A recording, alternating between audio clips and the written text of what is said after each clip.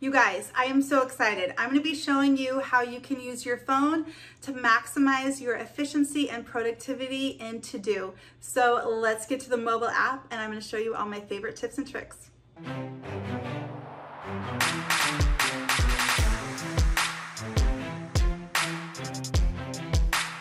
Okay, when you first open the app, it's going to ask you to log in. I've already done that.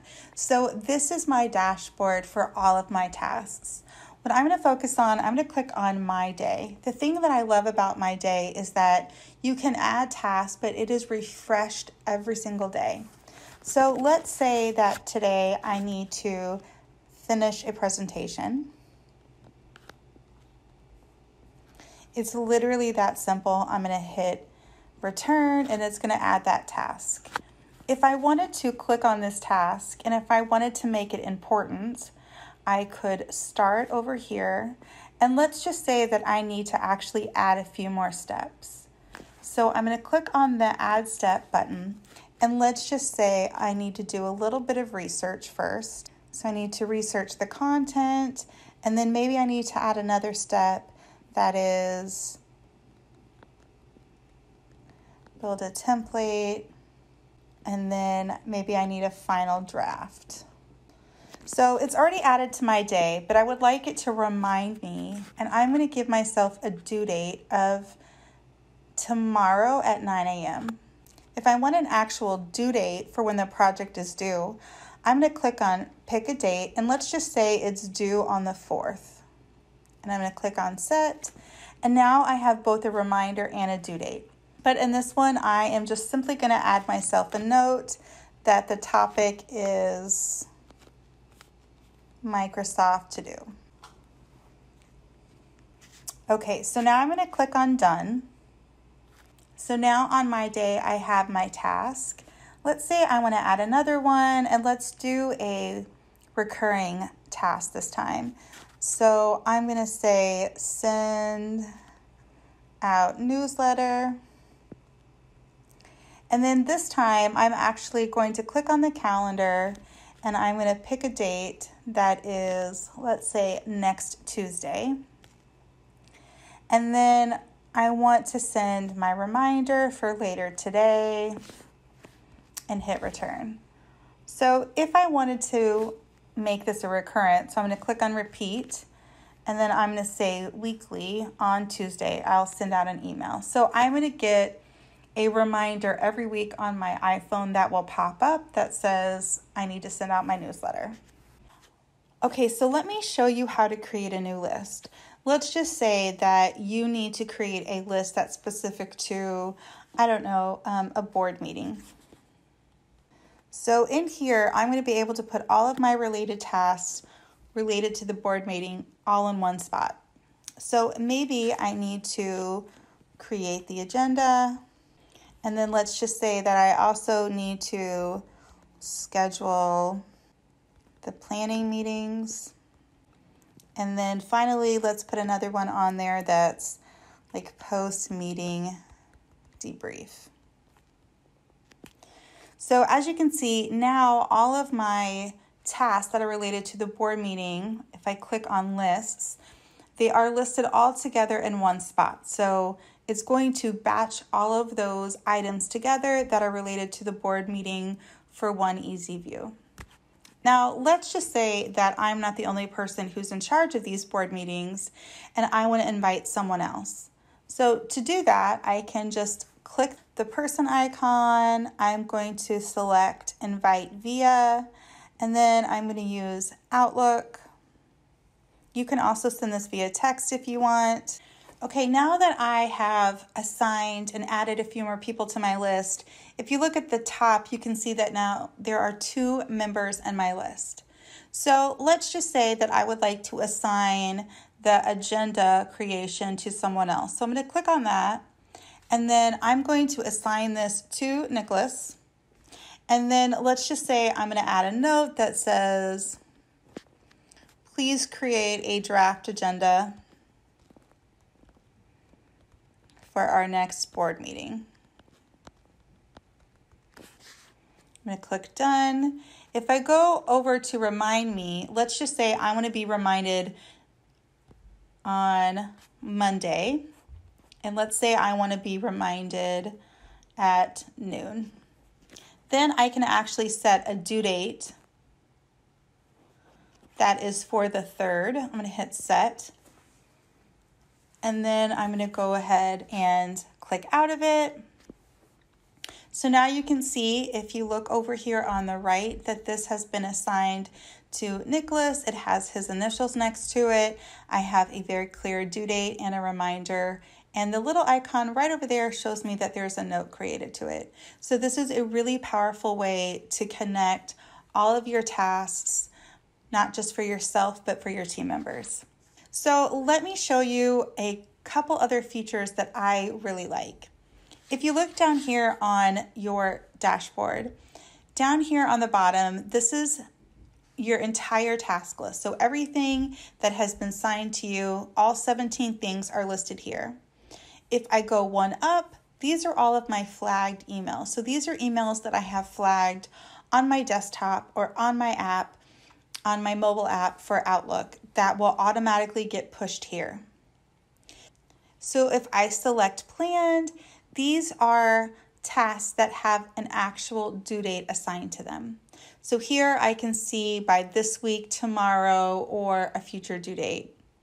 And you can toggle right here under this week and to decide if you need to see everything that is overdue or for tasks that are this week or later. Then if I look under important, these are things that I have starred and marked important that they're urgent for me to do.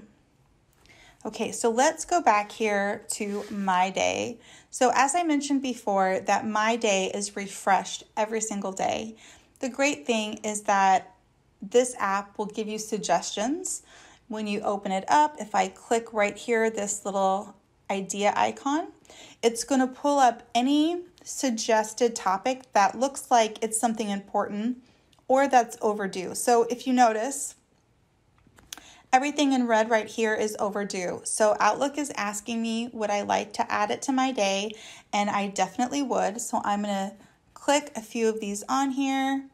I'm going to hit the plus symbol. It's going to add a few to my day. And if I've already completed, let's just say that I can mark these off. So this is a really great way for you to start fresh, but also decide all the things that are on your plate and organize your day. Okay, so now let me show you a few other really great features that I personally love in the app. So if I click on a list, each list can have its own theme. So this one is just purple, but let's just say that I want to change the aesthetics. I'm going to click on the ellipsis or the three dots in the top right. And then from here, I'm going to click on change theme. So you can either choose a color or you can even choose a photo. So I'm going to change mine to the beach theme and hit done. I might want to go back and under the holiday party, maybe I want to change this. I want to change the theme to red. Okay, now if I want to create a new grouping of lists, then I'm going to click on the plus icon on the right, and this can be a new group. So here, let's just say digital declutter. Okay, so I'm going to hit skip on this because I want it to be its own group. And now when I create a new list,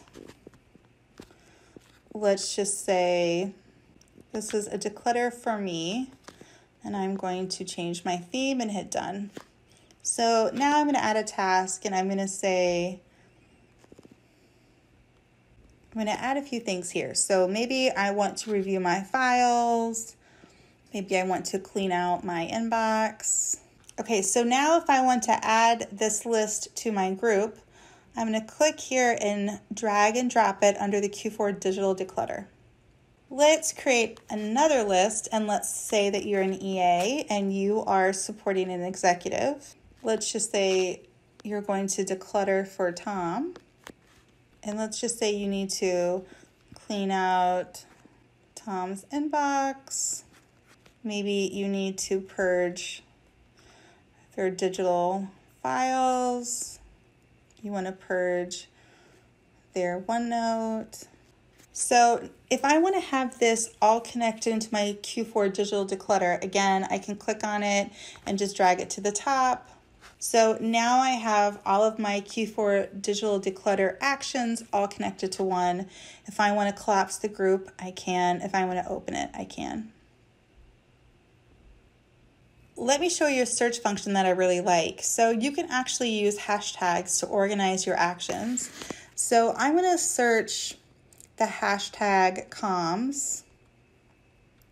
And as you can see here, there are three things that I have tagged, which is related to communications. So when you're using this version, it is a great way to categorize or pull together your information all in one spot. So let me just show you a few of my favorite settings that are really valuable for you to look at. So I'm going to click on my picture over here at the top left, and here are some of my favorite settings. So the first one you can toggle on and off is where you want your new tasks to go. Would you like them to go to the top of the list or not? That can get toggled on and off. You can do a few of these other ones. I actually turn off the play completion sound on my mobile app. I don't mind it on my desktop, but I don't want it playing on my app. For those of you that use Siri, then you can actually connect shortcuts right here. If I click on add task, when you say add a task, Siri will ask you where to put it and it will automatically add it to your task list. The last thing that I want to go over are the smart lists and a few of the connected apps. If you would like the To Do app to pull together your important, planned, and assigned to me lists, you can toggle those on and off. If you don't want to have those on there, I'm going to toggle those off just so you can see. As you can see at the top of my screen, now I only have my day, flagged emails, and tasks. So the planned emails have gone away, and now the important emails and assigned to me have all gone away. So if I want those to come back, I will just toggle those on. You can also choose to auto hide empty smart lists. So if you have nothing that is marked as important, it won't show in your list. So I'm actually going to toggle that on. The other two things that I want to highlight is make sure that you have your planner tasks assigned to you. So if you're using Microsoft Planner, make sure that's toggled on and as well as your flagged emails. I personally like to get reminders. If you don't, you can toggle that off. But if you have that reminder on, you can have reminders sent to your phone of actions that are coming up or due. I hope that I have showed you some things that you didn't know utilizing the app for to do. So let me know in the comments below what was your favorite feature or your favorite tip. And if you're looking for more content like this, please like and share and I'll see you on my next video.